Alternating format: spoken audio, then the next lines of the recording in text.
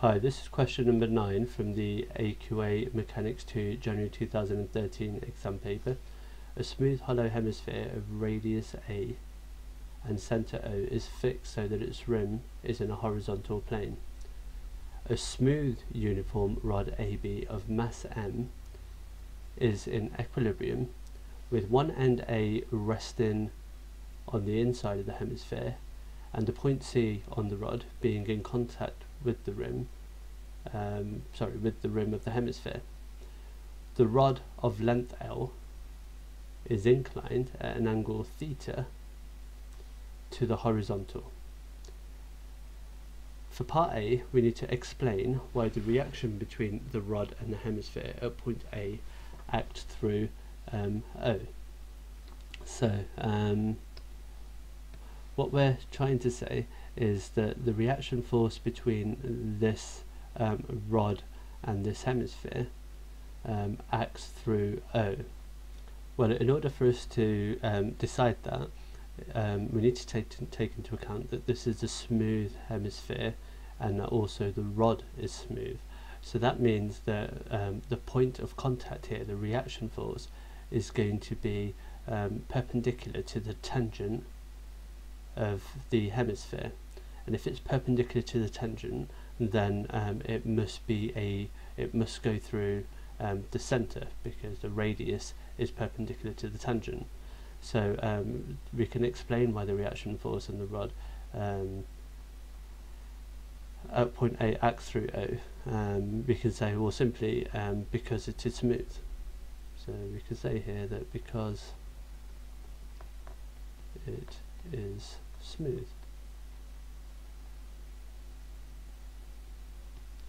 Okay, part B says draw a diagram to show the forces acting on the rod. So I'm actually going to draw my diagram um, on top of this one. Um, so we can start by putting in our reaction forces. Uh, let's use green lines. Okay, so I'm going to have a reaction force that's going to be going through uh, so that's going to be one of my reaction forces. And I'm also going to have another reaction force where the rod um, sits on the rim over here and that's going to be perpendicular to the rod. So we'll have another reaction force that's going to be going in that direction there.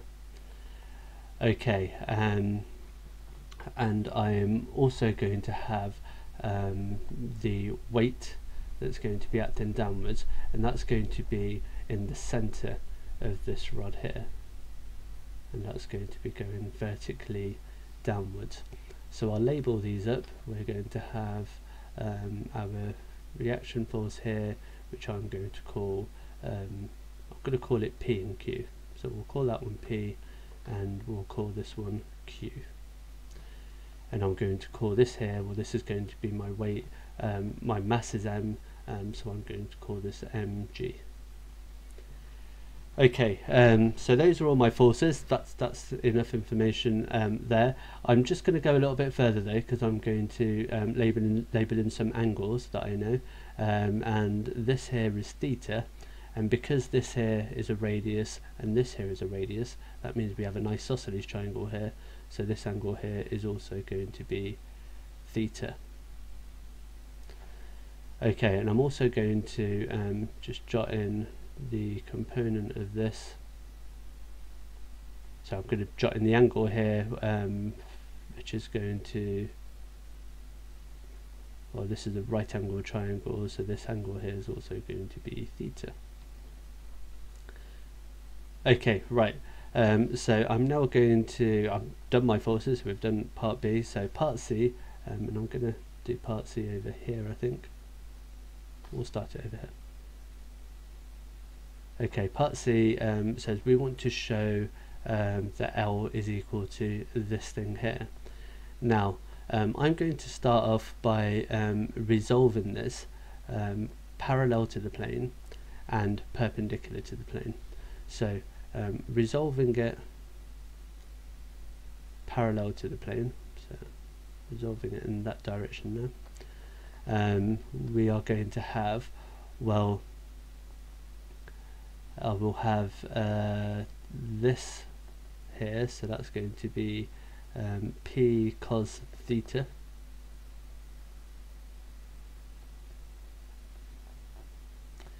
And um, that's going to be equal to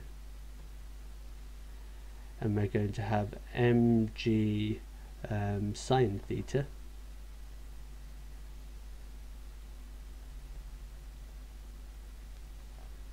and this here is going to be well this here is perpendicular um, to the plane so um, that's not going to um, be involved. Okay so um, so that's resolving it parallel to the plane.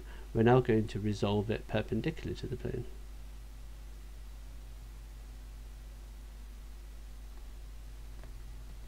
Okay so perpendicular to the plane we are going to have um, q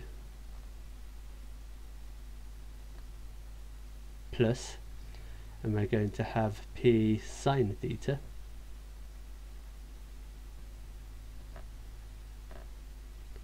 And that's going to be equal to and that's going to be mg cos theta. Okay. Now um,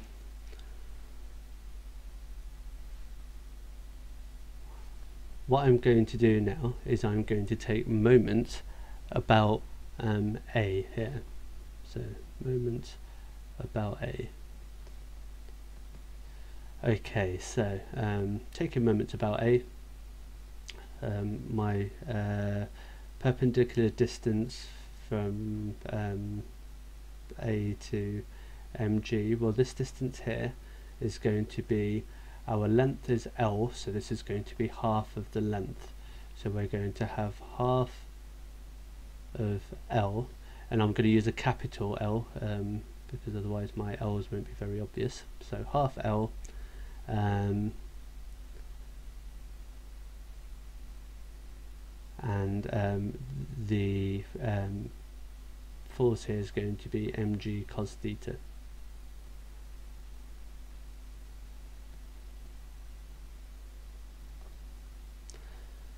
okay and um, we're also going to have um, so that's going to be equal to q. And we need to multiply that by this distance here.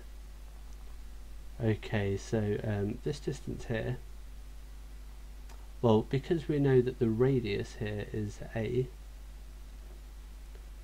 if I um, drop a line down here then this distance here is going to be a cos theta. And I've got the same distance over here so this distance here is also going to be a cos theta. So in fact the distance from A to C is going to be 2a cos theta. So I can times this by 2a cos theta. Okay, so um, I'm just going to tidy this this up a little bit. So I'm going to double through, um, and that's going to tell me, and and I can lose the cos thetas um, because it's common on both sides. So that's going to be LMG is equal to 2QA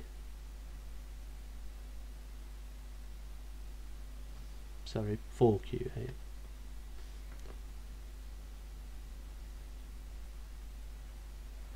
Okay, so um, now what I need is I need to, um, because I want it in this form here, um, I don't want to have a Q term in it.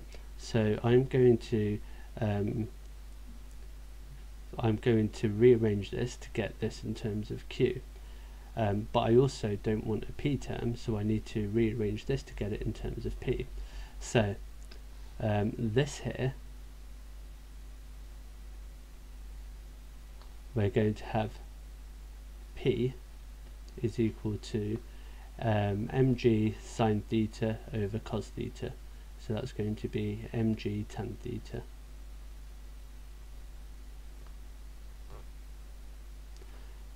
Okay, and um, I can now sub that into here, and I can say that um, Q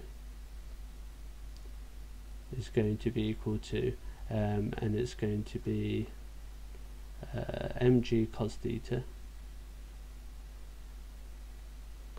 Take away and it would be p sine theta but I'm going to replace that with this here. So we're going to have mg tan theta sine theta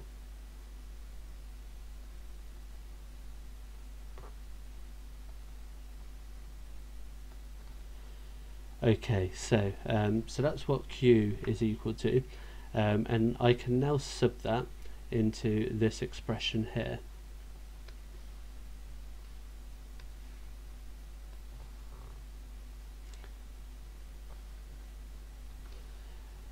Okay, so um,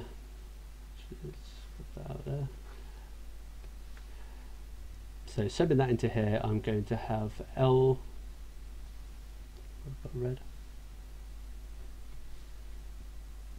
LMG is equal to and it's going to be 4a multiplied by q which is this here so we're going to have mg cos theta take away mg tan theta sine theta Okay, um, so mg is going to be a common term, but actually mg is going to cancel out now because we've got an mg there, an mg there, and an mg there. Um, so we can lose those. Um, we're going to have L. We're going to have L is equal to 4a. Um, and in my brackets I'm going to have cos theta take away. Um, and we've got tan theta times sine theta but I'm going to write this as um, tan theta sine theta over cos theta. So this is going to be sine squared theta over cos theta. Okay.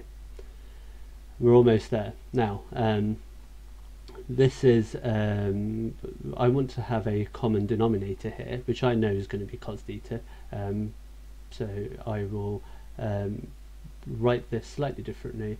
I will say L is equal to 4a and we will have if I multiply that by cos theta I've got cos squared theta take away sine squared theta over and it'll be all over cos theta okay because that would be cos squared theta over cos theta take away sine squared theta over cos theta so we can just write it as a single fraction.